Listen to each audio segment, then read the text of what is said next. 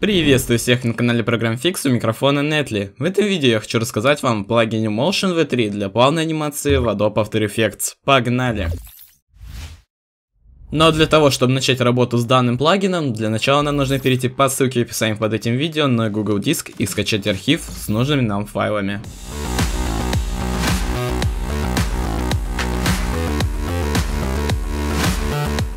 Далее, как мы сделали все вышеперечисленное, мы открываем папку с нужными нам файлами. В открывшемся окне мы видим три папки. Первая папка это macOS, также Windows и ZXP Installer. В папке macOS находится полный установщик плагина для macOS, Windows для Windows. Но первым делом мы открываем ZXP Installer. Запускаем его от имени администратора, далее нажимаем галочку и нажимаем Install нажимаем Close, далее возвращаемся обратно в PF Motion и открываем папку Windows. Далее мы просто переносим файл motion.zxp в открывшийся ZXP распаковщик. Нажимаем ОК, далее также нажимаем ОК, Close. Здесь у нас показывается то, что у нас установился для After Effects плагин. Далее мы можем закрывать ZXP инсталлер и запускаем файл addcase.rec. Нажимаем да, далее ОК. Теперь мы можем открывать Adobe After Effects. Далее, как у нас открылся After Effects, мы можем закрывать окно Home. Потом мы переходим в окошко Windows и здесь нажимаем Extensions Motion 3.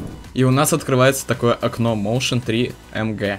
У вас такого не будет, вам нужно будет ввести код, который находится в папке установщика. Мы открываем папку установщика, далее заходим в txt файл и копируем данный код. И здесь у вас будет такая панелька, где нужно будет ввести данный код. Далее вы нажимаете Activate, и у вас появляется такое окно. Вы его закрепляете где вам угодно, я закреплю его здесь. И теперь я расскажу, в чем преимущество данного плагина. Например, мы создаем композицию 1920 на 1080, 60 fps, например, на 5 секунд.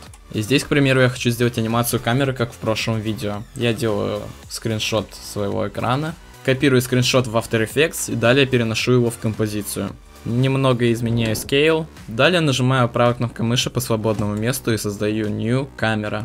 Делаю настройки камеры, нажимаю ОК. Для начала мы переходим в настройки камеры, нажимаем стрелочку, далее камера Options. И здесь я изменяю зум. Далее ставлю поинты на таких э, параметрах, как Point of Interest, Position и Z Rotation. Перехожу к моменту, где мне нужно приближение, ставлю второй point и полностью редактирую его под себя.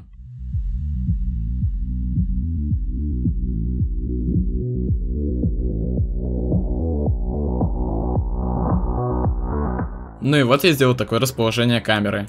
Такая анимация у меня получается. Как вы видите, она получилась довольно-таки неплавная, вообще не плавная. Я переношу немного кейфрейм Z-Rotation левее. И также выделяю все кейфреймы и нажимаю клавишу F9. Тем самым они становятся более плавными, но еще более кривыми. Теперь каждый элемент нам нужно сделать более плавным. Нажимаю на Point of Interest и далее нажимаю на пустое окно в плагине Motion V3. И здесь я могу настраивать полностью его анимацию. Например, хочу сделать вот такую вот анимацию.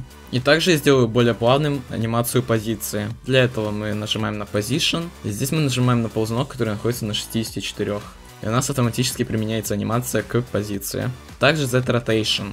Нажимаем на Z-Rotation и также ставим 64. И вот наша анимация уже выглядит намного плавнее. А теперь я хочу объяснить, почему этот плагин удобнее, чем обычная анимация по кейфреймам. Раньше мы делали так, переходили в график Editor, здесь выставляли значение Edit Speed Graph и анимировали вот эти кейфреймы.